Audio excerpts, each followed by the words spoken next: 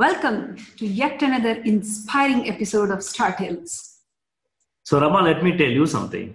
If you ever get annoyed with me, it's very easy to get me out of this room. And how do you do that? Talk numbers, statistics, Excel sheets, and that's it. Okay. Uh, but not today. Um, today, we are going to talk to someone whom these numbers come very naturally and his journey has been a proof of how he has been playing with numbers throughout his professional life and is now a great entrepreneur founder of Trukkin, a cloud-based b2b platform for all the logistical needs of, of shippers and truckers in the whole of middle east area. Welcome janardan to star, star tales. Thank you anil. Thank you for having us and um, you know for that great introduction and uh, we have actually now moved on from Middle East to Pakistan as well. So the, the territory has increased, um, and we are very excited about that. Great. What a pleasure to have you here. Thank you so much for having me again. Well, Janardan, from being a true number cruncher, that is an investment banker, to an entrepreneur now, and again from United States of America to Dubai, that I believe is a great journey and a transition. Would like to know your insights. Sure. So I think uh, when we talk about you know the movement from US to Dubai and you know entrep- uh, you know banking to entrepreneur, I think a lot of things have happened by chance in my life. You know, um, so I have grown up in India. You know, did my schooling there. I wasn't very smart enough to do engineering or computer science. Uh, so I wasn't smart enough, but I'm glad that I at least recognized that I wasn't smart enough, right? Otherwise, it would have been a big disaster. so I went to uh, you know US for my undergrad, did my studies uh, in management and finance and marketing, and then I had this bug to really get into Wall Street.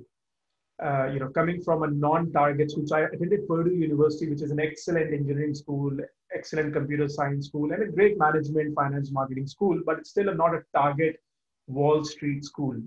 So I had to really work really hard to get into investment banking, you know, the field of corporate finance, uh, you know, every, uh, you know, graduating student in business dreaming of, you know, working on Wall Street, you know, dealing high profile transactions, M&A, capital advisory.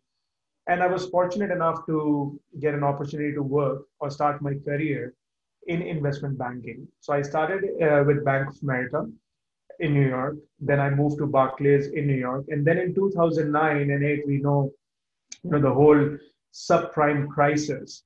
And when I look back last 10, 11 years of my journey, a lot of it has been, um, now I'm able to connect the dots, right? Uh, the nine crisis happened. Uh, there was an opportunity for a lot of people to move around, you know, move internationally. Barclays acquired Lehman Brothers, and I was part of Barclays team and we had to build our whole franchise outside North America.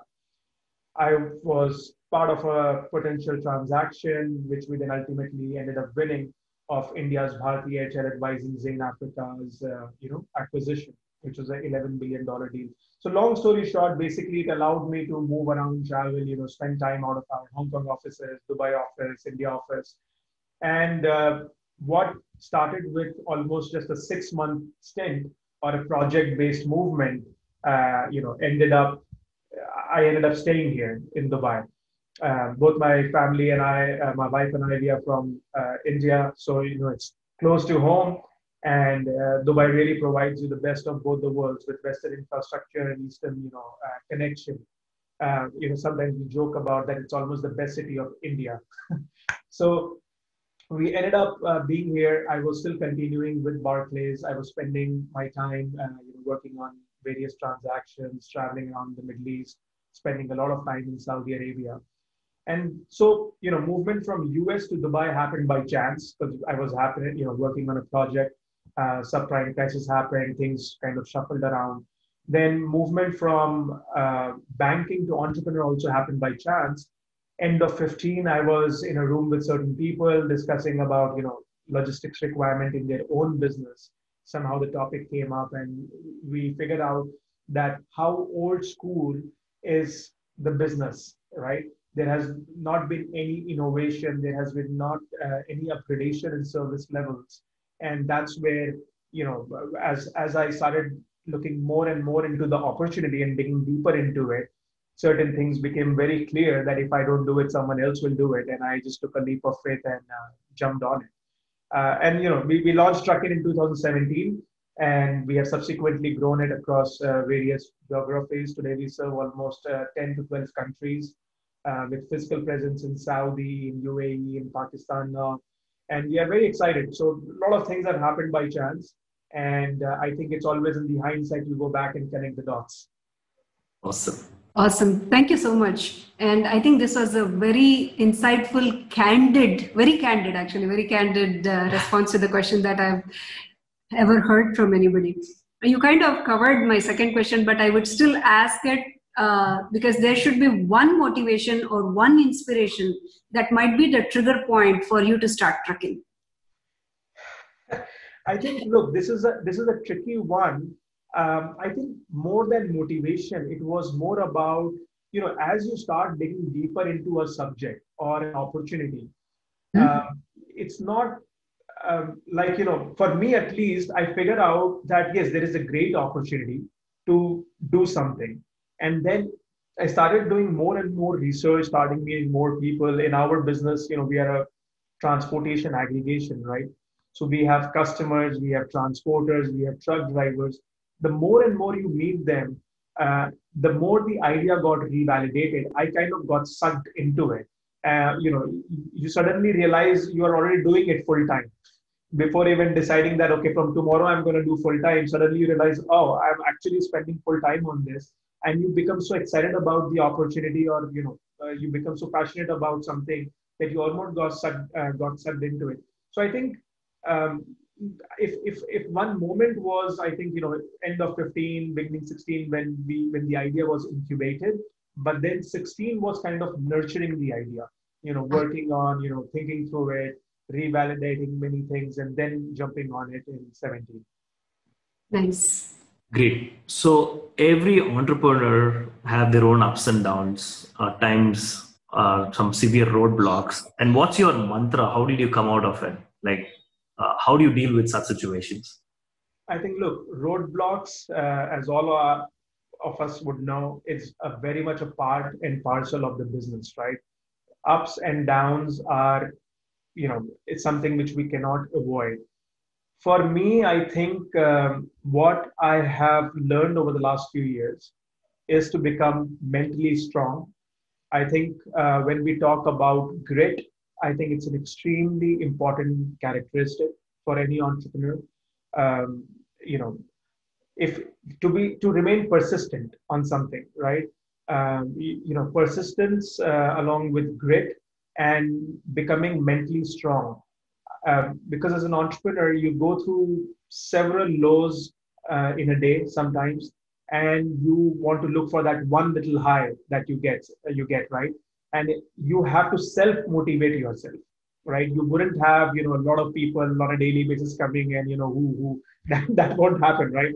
Uh, so a lot of times you just have to look for that one high which you get in a day and you know self motivate yourself and truly believe that you know grit alone would take you forward and i think that has been my mantra so far great awesome so i've met many entrepreneurs and you're one of those where you totally believe in technology and design so um, I've seen Trukkin, and every touch point in Trukkin, you have implemented technology, and not just technology. You also truly believe in design. How did you like? how did you start believing in design and what made you believe in design look i think design for me starts from design thinking right uh, even when we thought about the business a uh, few years back the whole idea was logistics is a very unglamorous business how do you take this business which has been going on for decades in a in, in the same fashion uh, and how do you bring that industry 4.0 moment in this, right? Uh, and it starts from very much the design thinking uh, as a part of your strategy. That how do you take something which was happening old school and what do you how do you innovate in your business model? So I think design is is absolutely at the fundamental uh, core of how we as an entrepreneur or we as a startup want to approach uh, this sector, right? Uh, so that's how uh, basically the journey uh, started and, and the whole thought process around the design thinking. Great. So from fintech, finance to numbers and then technology, how has your learning been? And um, today I see you as a very uh, tech hungry entrepreneur. So, and also um, you're one of those people who totally believe in technology. So every touch point at Trukkin is so tech driven. So how, what was the learning like? I think, look, the learning has been immense, right? And more and more in our business, we are dealing with various stakeholders, right? Um, there are, you know, corporate clients, uh, you know, which are large companies. You have educated, uh, you know, people dealing on various departments there.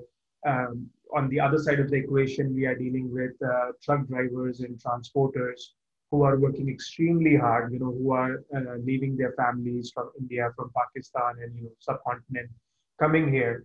And so, when we think about what what their journey has been or what their journey is on a day-to-day basis, you want to think about with with the availability of technology today, how can we make their lives better? How can we empower them? How can we enable them? You know, a lot of people talk about startups being a disruptor. And I actually don't like that word at all. I am not a disruptor. We are not a Trukkin is not a disruptor. Trukkin is an enabler. We are not here to disrupt anyone's business. We are here to enable people's business. And this is where the design kind of goes in as well. How do we use design how do we use technology to simplify things, right? How do we use a complicated logistics module and, you know, with the help of technology and the right design, how do we make it much more simpler so that it touches to the very grassroots levels of people in the economy? How do they use that to their advantage? Today, a truck driver, he doesn't need to stand uh, you know, in a 50 degree temperature on the roadside looking for a job. He can be comfortably sitting at his home or resting in the shadow uh, with access to certain applications and the design, which kind of walks him through in a very simple manner, gives him an opportunity to figure out what opportunities does he have in terms of job availability. What can he work on? He, we are empowering him to decide and choose that. You know, when he goes from point A to point B, we are allowing him to come back with a load from point B to point A again or further onwards. So the learning has been immense. I think in terms of understanding the psychology, what drives people, and a lot of times the answer lies to the very fact that you know it's about simplifying things. Less is more. You know, and that's where I think the design and technology really uh, helps solve a lot of these things. So where did this learning come from, Janardan? So did you uh, build products in the past? Did you deal with design in the past? We did. What I what uh, what we did was we absolutely built products which were way advanced, and at that point in time, we focused a lot on our design process in the business, but not actually design from UI UX point of view. Mm-hmm. And we learned our lessons very fast that sometimes you can come up with a great product but unless it's uh, it has the ability to communicate by itself right it becomes really challenging. And then more and more when you work with uh, you know transporters and corporates alike over there you start understanding that here we operate in a region where we are dealing with multicultural background people. You know people are from all walks of life here from all different you know countries who are working here. Speak people speaking various different languages. How do you make a standardized design which becomes self-explanatory?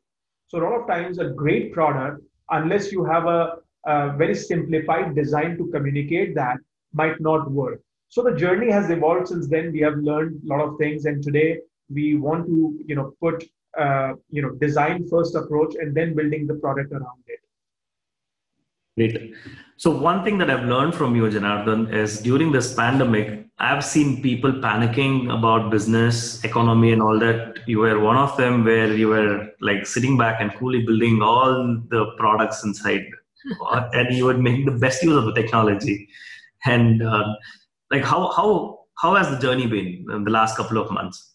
Look, I think um, when this pandemic came, I think for everyone this was that you know black swan event or the curveball which came out of nowhere and uh, for everyone the whole idea was to figure out you know some of some of the companies had to figure out whether they're going to survive whether they need you know uh, support in certain fashion and certain companies where we like for ourselves in logistics we know that you know this is uh, this is very much in demand we had to actually work even harder during the pandemic to make sure the supply chain is running you know the essentials are stocked up in the supermarket because to keep the economy running, so not to add another layer of panic situation.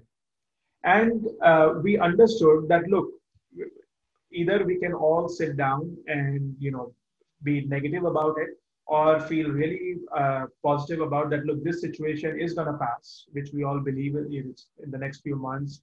Uh, this will pass and during the time we should utilize our resources and you know what's the opportunity that is available to us to take a step back think through you know build products again you know uh, you know redo certain things uh, from scratch bring in new fresh of thinking uh, and we are working on that and and we we have not thought we we are not uh, kind of pessimistic in our approach we are very excited. Hence, you know, during this pandemic, we have gone and launched in a new country when most of the you know people are kind of shying away from operating in their own country at the moment. So we we have been very excited, and I would think uh, we are very blessed. I'm also very blessed to have a great team around us. You know, it's the team which makes it happen. So uh, overall, I think you know we just have been very fortunate. It was great insights. What a beautiful journey from banker to technology and totally believing in design. Thank you so much, Janardan. Thank you, Anil. Thank you so much for all the support. And uh, thank you, Rama, for having us. Yeah, great insights, honest answers, and uh, great 20 minutes spent for towards learning. Thank you so much for your time and energy and all the insights that you gave us today. Thank you so much. Thank you, Thank you Janardan. Thanks. And for you all, stay tuned for many more.